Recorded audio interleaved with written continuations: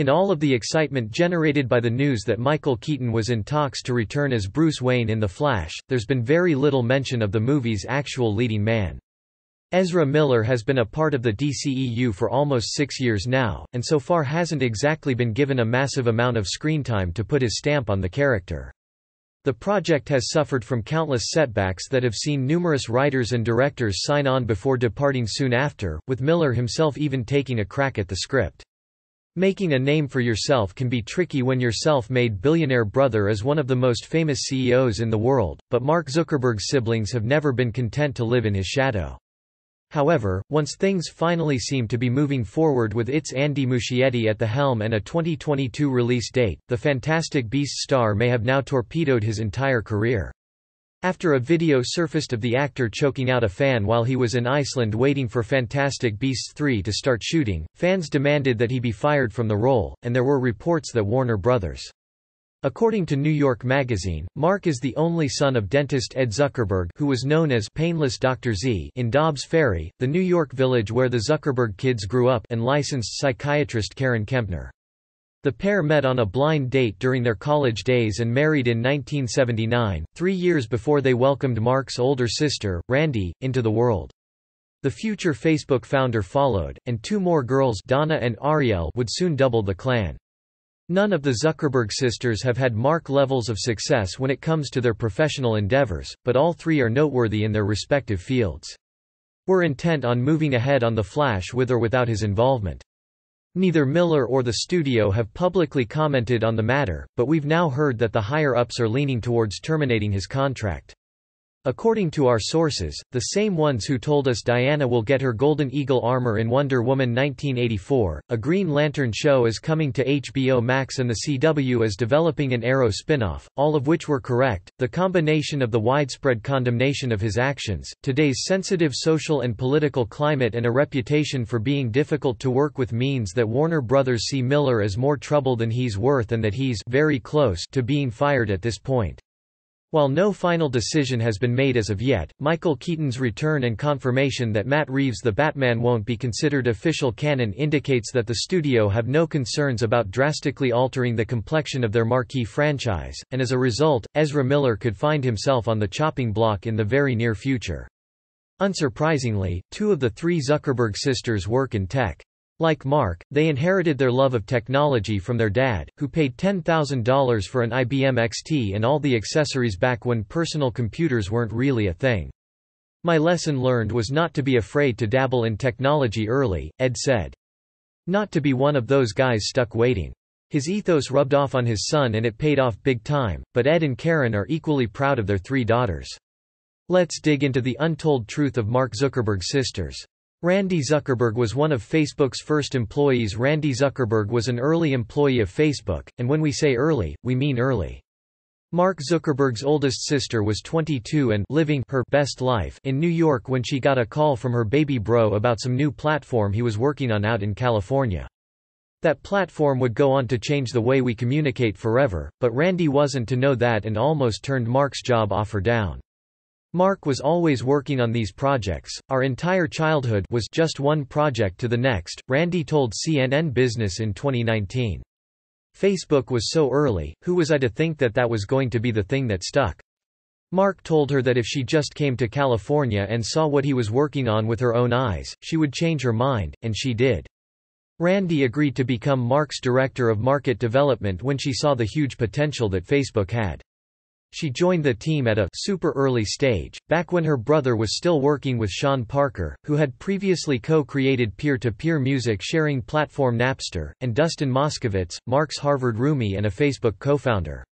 It was just these guys in this house, Randy recalled. I fell in love with their passion and what they were building, they really talked even at that stage like they were going to change the world.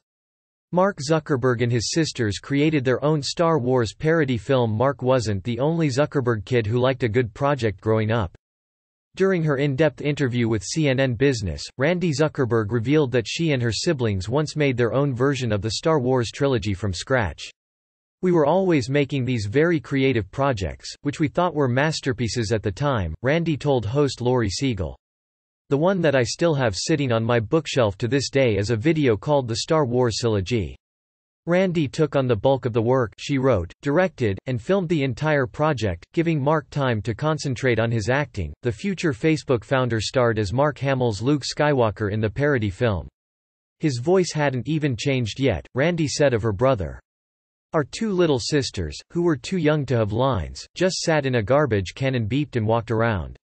We were so proud. We worked on it for weeks, if not months. So, I think that really embodies what the spirit was in our household. Mark hasn't done much acting since then he voiced himself in a 2010 episode of The Simpsons, but Randy's passion for producing her own content never faded. In 2016, she turned her children's book Dot into a cartoon series, hoping that the eponymous character a tech-savvy eight-year-old would inspire other young girls to go into technology. Randy Zuckerberg has been on Broadway Mark Zuckerberg may have been the lead in the Star Wars fan film that he and his sisters created as kids, but Randy Zuckerberg's the one who went on to star on Broadway. In 2014, the oldest Zuckerberg sister was contacted by producers from Rock of Ages after they saw a parody music video she had shot at Facebook HQ. She was offered a three-week guest stint in the show, a real bucket list moment for her. As a young girl, I was a complete musical theater nerd, Randy told Forbes. My number one dream in life was to sing on Broadway. Her stage debut was incredibly important to her, and she made sure her brother knew that. According to Randy, Mark actually cut a meeting with President Obama short so he wouldn't miss her first show. The Facebook billionaire reportedly had a helicopter drop him right next to the theater. When she spoke to CNN Business about achieving her lifelong ambition of singing on Broadway, Randy said that nobody in her life really took her dream seriously, and neither did the media. She hit out at the press for creating a narrative in which Mark was this genius who's building important things while Randy was simply the silly sister who likes to sing. Proving the naysayers wrong felt like sweet victory to Randy, who has remained involved with the theater since. She produced three shows in 2019, including a revival of Oklahoma. Mark Zuckerberg's sister Randy reacts to the Facebook Live controversy Randy Zuckerberg left Facebook to concentrate on her own business ventures in 2011. She made a huge impact during her time with the company, and she kept close ties with it after moving on, continuing to use the royal we when discussing Facebook. Perhaps her biggest legacy is that she was instrumental in the early development of Facebook Live, a function that has been at the center of multiple controversies. Randy told CNN Business that she was young and idealistic at the time and wasn't thinking about the potential for people to live stream crimes. It really wasn't until years later, with a lot that I see going on in the world, she said, that I woke up and was like, oh my gosh, we've given a voice to everyone.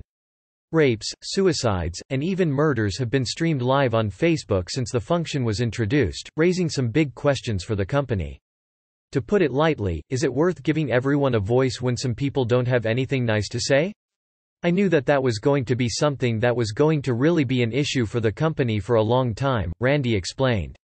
One of the stances that we have always taken at Facebook, is that, it is worth it to give the voice to everyone.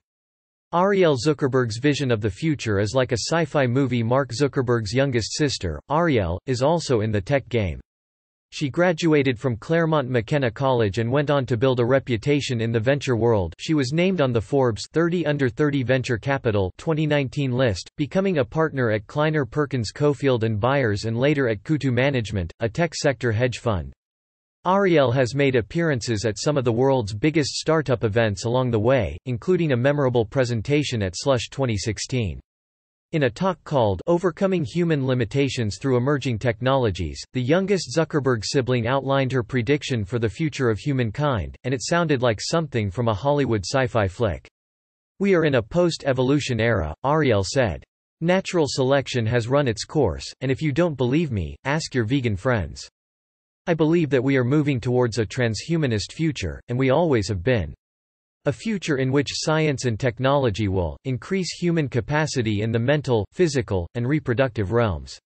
According to Arielle, things like Iron Man's AI assistant JARVIS could be a reality before too long, and she believes that at some stage people will start choosing to replace their limbs with robotic ones, even if their real ones are in working order. People who can afford these enhancements will hugely benefit, she said, and people who can't afford them will be left behind. Mark Zuckerberg's sister Arielle lashed out at Donald Trump after his election victory in November 2019. It was revealed that Mark Zuckerberg had sat down for two secret dinners with President Trump, one at Zuckerberg's home in California, the other at the White House. According to New York Magazine, there was plenty of cozying up between the Facebook CEO and the POTUS back when Barack Obama was in the Oval Office, so did these secret meetings with Donald Trump mark a political shift for the tech billionaire. The way The Guardian tells it, Mark's only concern when it comes to politicians is how their policies will affect his company, but his youngest sister certainly isn't afraid to take sides, not when the industry she loves is under threat.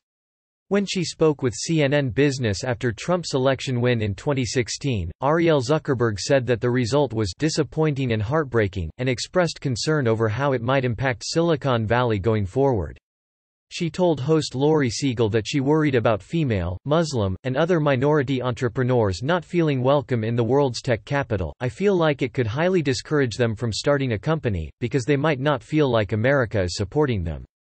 Arielle pointed out that Steve Jobs' father was a Syrian refugee, before explaining why she took Hillary Clinton's defeat so personally. It's who she lost to, the venture capitalist said.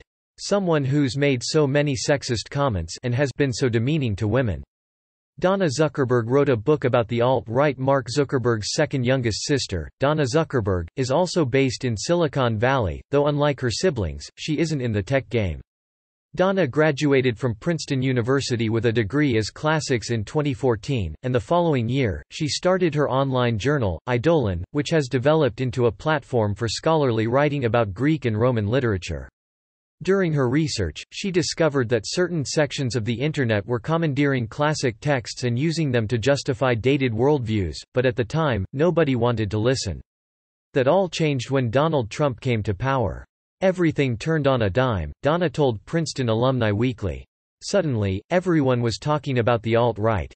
In 2018, Donna became a published author, putting everything she had discovered about the misappropriation of classic European literature into a book called Not All Dead White Men, Classics and Misogyny in the Digital Age.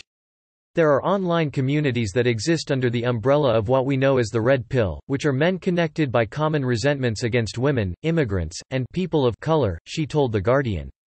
The married mother of two said that she was surprised by the extent to which they are using ancient Greek and Roman figures and texts to prop up an ideal of white masculinity, adding that the so-called manosphere worships a model that erases much of the social progress that has been made in the last 2,000 years. Mark Zuckerberg's sister Donna blames social media for a rise in misogyny. Donna Zuckerberg believes that social media has allowed so-called red pillers named after the now quarantined subreddit of the same name to elevate misogyny to entirely new levels of violence and virulence, and when it comes to social media, Facebook is the biggest of them all. Donna has refused to directly call her brother out for allowing misogynist groups to operate on his platform she wouldn't be drawn when The Guardian asked her if she had ever taken her brother to task over the issue, but she has no doubt that social media has allowed these groups to thrive. It has created the opportunity for men with anti-feminist ideas to broadcast their views to more people than ever before, and to spread conspiracy theories, lies and misinformation. Facebook isn't exactly the epicenter of the alt-right online, but the kind of conspiracy theories, lies, and misinformation that Donna talks about circulate on the platform every day, something she can't deny. Facebook obviously is part of it, Donna admitted in an interview with Quartz. According to her, Facebook is very much aware of the liberal and conservative bubble issue and is actively taking steps to address it. For the most part one don't see Facebook as that crucial to red pill social media use, though obviously there are Facebook groups and communities that are part of the red pill, she said, adding, I'm sorry, this is very fraught ground for me. Mark Zuckerberg and his sisters almost invested in a McDonald's franchise Imagine a world in which Mark Zuckerberg wasn't the CEO of Facebook, but the boss of a McDonald's restaurant. Believe it or not, that was almost the case. During her candid interview with CNN Business, the tech mogul's older sister revealed that all of the Zuckerberg siblings got the same proposition from their father when they reached college age. He offered each of us the option of going to college or investing in a franchise and running it, Randy Zuckerberg told Laurie Siegel. He was like, do you want to go to college, or do you want to buy a McDonald's franchise? I actually think my parents were very progressive, thinking about entrepreneurship a long time ago.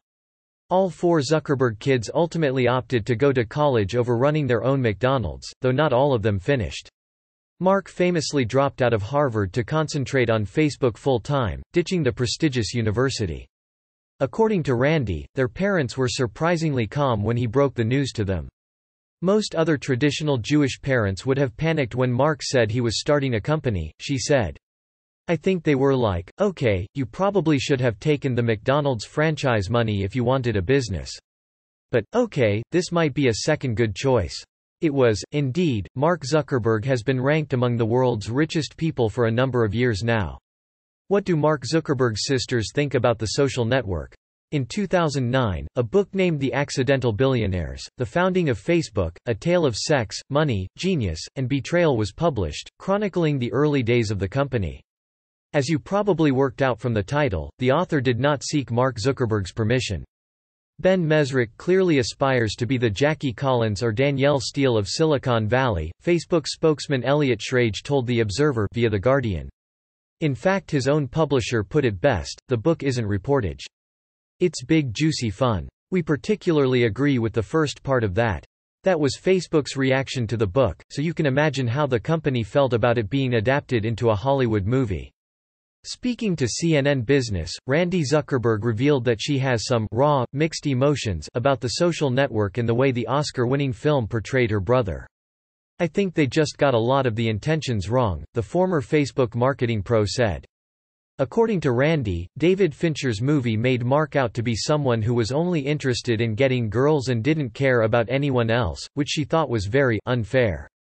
It's like when someone bullies your sibling on the playground, and you're like, wait, I'm allowed to bully my sibling but nobody else can. Mark's younger sisters have been less vocal, though Arielle did appear to mock the movie with a parody poster prior to its release. Is the Zuckerberg name a blessing or a curse? What's it really like being Mark Zuckerberg's sister? It's a question that Randy, Donna, and Arielle have no doubt been asked on countless occasions, but the answer isn't a simple one. According to Donna, the Zuckerbergs have always been a tight-knit family, but what's become clear over the years is that Mark's success has made it harder for his sisters to be considered on their own merits. In one YouTube interview, Arielle revealed that her last name led to some frustrating moments early in her tech career. What people associate with the name Zuckerberg, to be totally blunt, is money, access of capital, and access to connections. Randy is the most well-known and arguably the most successful Zuckerberg sister, and even though she credits Mark with opening doors for her, she admits that being related to him comes with some drawbacks. On the glass-half-full side, what he's done is so incredible, she told HuffPost. Because of him, the Zuckerberg name carries so much weight in the world of social media and innovation. On the other hand, I think I have a lot to prove. I think that there's a really high bar that's set for the Zuckerberg name, probably higher than if I was just going out on my own to begin with. Chances are they'll never eclipse their billionaire bro, but the Zuckerberg sisters will continue to blaze their own individual trails regardless.